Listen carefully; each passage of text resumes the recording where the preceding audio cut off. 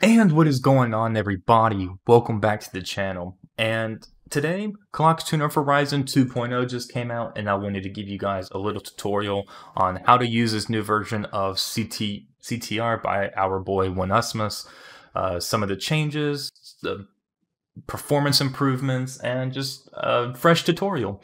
I actually have a tutorial on Clock Tuner Ryzen 1.0 that I made a few months ago, and it's actually my most viewed video on YouTube, currently sitting at 24,000 views. So I'm pretty stoked for that.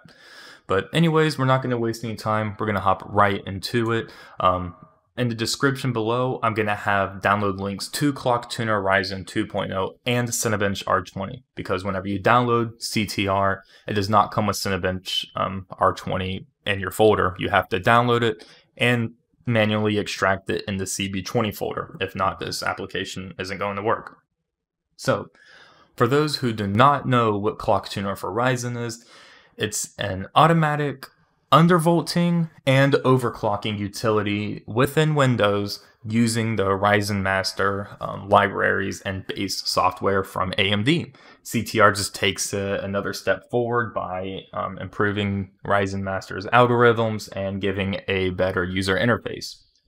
Now, some prereqs before starting this is these aren't 100% requirements, but are extremely highly recommended. Um, I recommend updating your BIOS to the newest version. AGESA 1.2.0 just came out for um, my motherboard, which is a MSI B550 board. So I went ahead and updated that. Downloaded the newest AMD chipset drivers.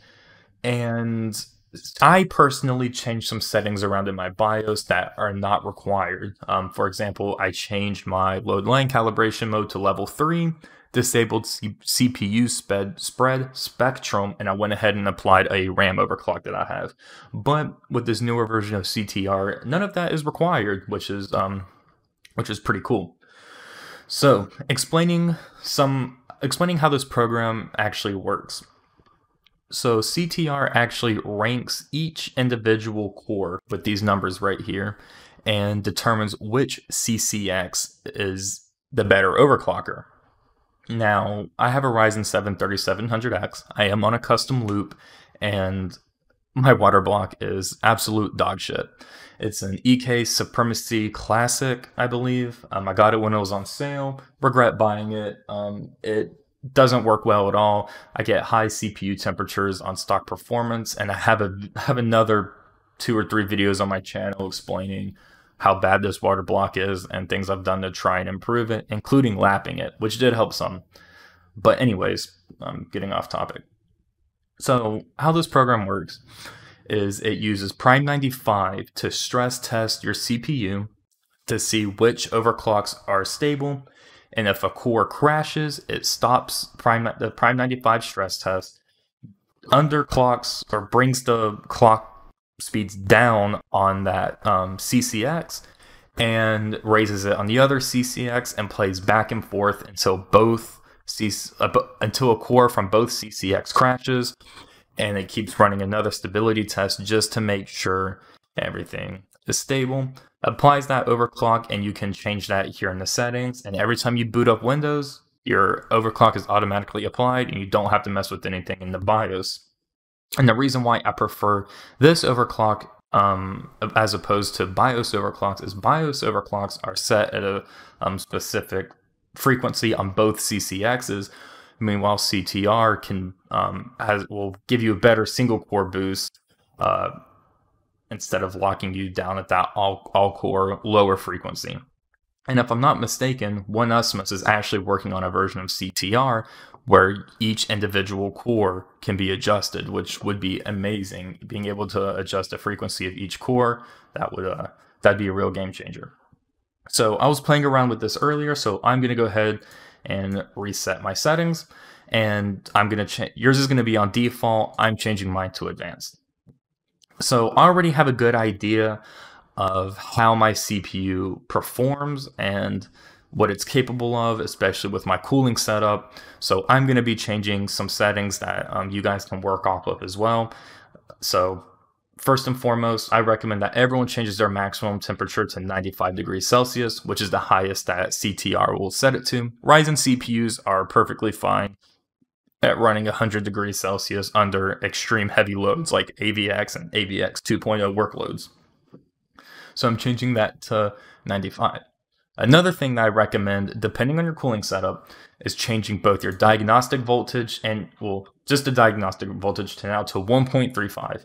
If you increase it any higher in CTR, they, um, they, it kind of freaks out. Um, I'm actually going to do 1.325. It kind of freaks out if you do 1.35 or higher. So I'm going to stick at 1.325 just to squeeze out a little bit more performance and get better results.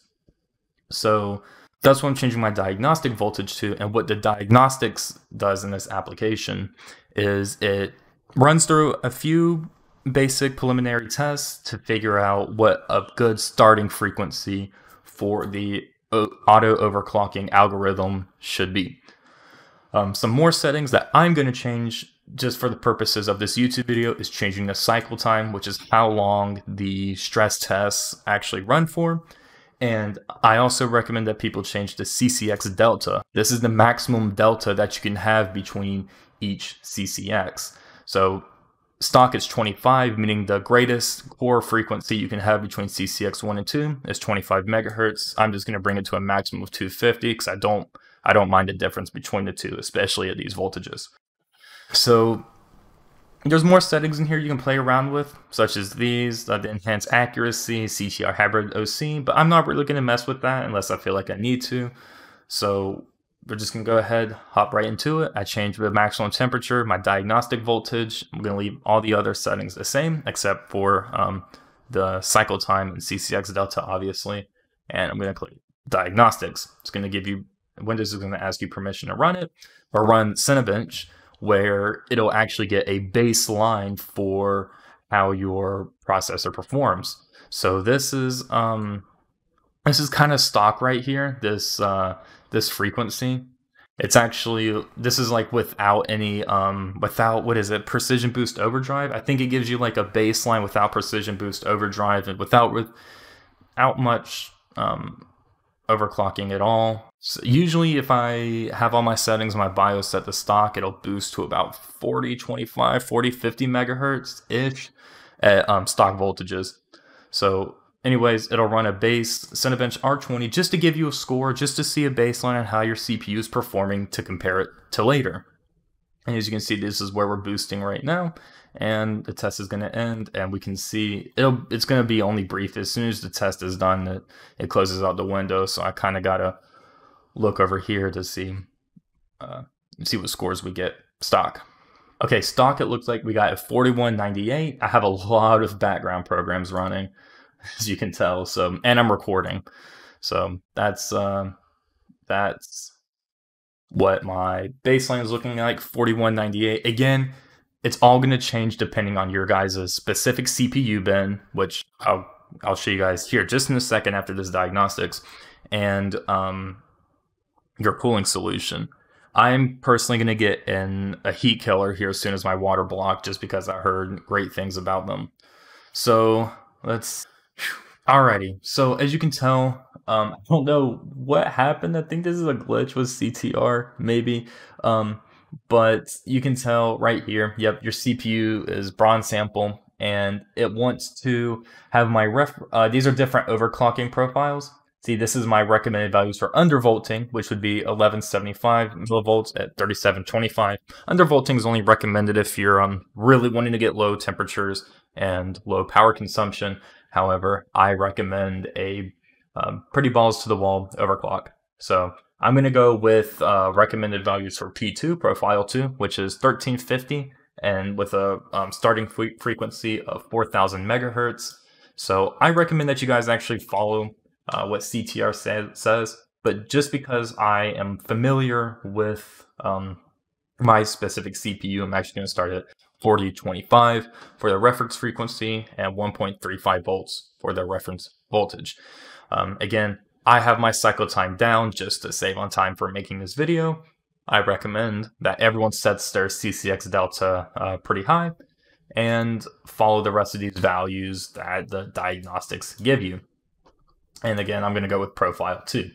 So once you do that, um, you're going to go ahead and click tune. And what tuning should do is right here, it'll go ahead and um, begin with these preliminary values that we just put in. And it's going to run a basic Prime 95 stress test in the background. Again, it's going fast because of my cycle time. And it's going to slowly increase each CCX frequency by 25 um, megahertz, I believe it's 25, 50, somewhere around there, and slowly increase it until a core crashes, drops down the um, frequency on the corresponding CCX to uh, where the core reside resides that crashed, rerun this uh, stress test and keeps adjusting those values until um, until both CCXs are stable at their highest frequency. And it's going to take a while to do this. It will take some time. So go make you some food, coffee. Your compute your computer itself shouldn't crash if you do the diagnostics and everything beforehand. Um, but there is a possibility, and it does suck. Usually, it's because of uh, too low voltage. So again, it takes some playing around with. But the best part is um, you don't have to change any settings in your BIOS to apply this overclock. It starts with Windows. So um, I guess I will catch you guys in a second um, as values start to move up and down and uh, catch you guys there. So, as we can tell, um, I had to adjust some settings because my PC actually crashed, and having OBS open and recording actually affects my overclocks a good bit because of how CPU intensive um, recording can be. So for my overclock, I got uh, CCX1 at 4025 megahertz and CCX2 at 4050 megahertz. And I'm sure this could be um, changed depending on, you know, what I had running in the background. Uh, but as soon as this is done, it opens up Cinebench and starts to do another run to see what your scores are afterwards. You can tell in the logs right here what cores failed and what CCX got downclocked uh, to account for the failure of dropping a thread. And this is where it found uh, the overclock was stable given my temperature, power limit, voltage, and overall silicon lottery scores and what I had running in the background, which is a lot considering I've uh, I was recording. So we oh it was too fast for me to look at, but now we can check. Let's see. Now we should be able to go to uh where's it at? There should be I think it's benchmark. There we go. So this is our um, original power output. See, I went for an overclock instead of an undervolt. So um, as you can tell right here, I got 88. Originally was our power limit. Now it's 108. And then I used more voltage. Again, this is because I was going for an overclock. And you can go for an over undervolt. So we can look at the difference before, before and after. I got 42, 44 to 43, 78. Uh, what should told me the uh, told me a percentage gain on that because I don't want to do the math on it. But these are our default values before and our values after. And again, I'm going to play around with this more um, after I'm done recording to get better scores. I think I can, can squeeze a 4150 on CCX2 and about a 4050 on CCX um, on CCX1. And again, you can play around with the voltage. I actually found this out, but um, the CTR will now let you um, put in higher voltage. It just warns you that you are going over the voltage limit. But that's it. And uh, again, this is all that's to it. Your your results may vary, and I'm actually curious to know what processor you guys have, what um what type of sample you got, bronze, silver, gold, or platinum, and your before and after scores. I'm very very curious, and uh, I read the comments all the time. So if you guys have any questions, please put them down below. Now to apply this for whenever um, you boot up Windows, you should be able to go to Profile Management. Uh, let's see. fill P1 profile. You can apply that profile. And I'm not going to get into it in this video, but you can actually do a P2 profile, which can be your undervolt and then you can go to tuner and select CTR hybrid OC and it'll actually dynamically switch between those two profiles depending on what you're doing. I'm not going to do it in this video, but I will answer questions about it in the comment section. So anyways, that's our um, profile one. And then we can go back to tuner and auto load profile with OS. I can put it to, to tray so I don't have to see that. And that's it. You have you a nice little um, overclock not much work, just a lot of time for it to run through.